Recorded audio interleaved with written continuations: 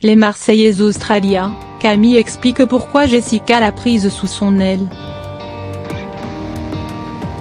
Comme chaque année, les Marseillais ont eu le droit à de nouvelles têtes pour les accompagner en Australie. Malgré les difficultés rencontrées par certains comme Jérémy, Tony ou Chloé, d'autres ont eu plus de chance au pays des kangourous. Comme Camille qui a reçu le soutien de Jessica Thivenin.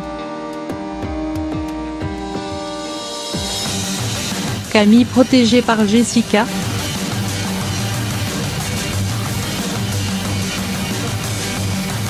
Lors d'une interview accordée à Sam Zira, celle qui a été dans un triangle amoureux malgré elle s'est confiée sur son rapprochement avec la chérie de Thibaut Curo.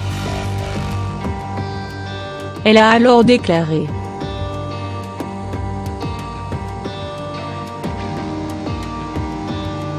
Jessica me conseillait par rapport à Benji, elle me trouvait effacée. Je lui ai expliqué que le jet lag entre la France et l'Australie était très dur. Ensuite les caméras, les journalistes et et elle m'a dit qu'elle trouvait que j'étais la seule nouvelle qu'elle sentait sincère. Je pense que c'est peut-être mon naturel qui lui a plu.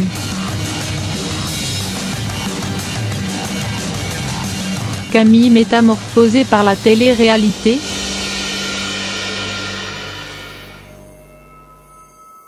Alors qu'elle avoue avoir été déçue du montage et ne plus être en contact avec Benji, la jeune femme est sûre d'une chose, elle n'a pas changé depuis qu'elle est médiatisée. Je sais que je n'ai pas changé.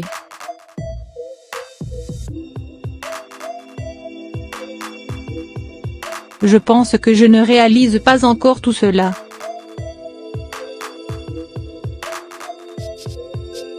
C'est bizarre un peu quand les gens me reconnaissent dans la rue et, je savais que je ne pouvais pas autant m'investir que Jessica et Paga par rapport au bébé à Manon et Julien ce qui est logique car ce n'était pas légitime. On ne servait pas à grand chose a-t-elle confié.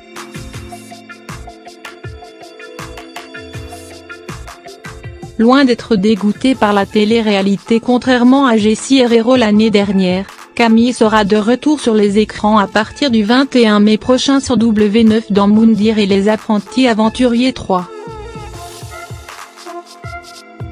Lors de cette émission, la belle brune devra s'allier à son ex Benjamin.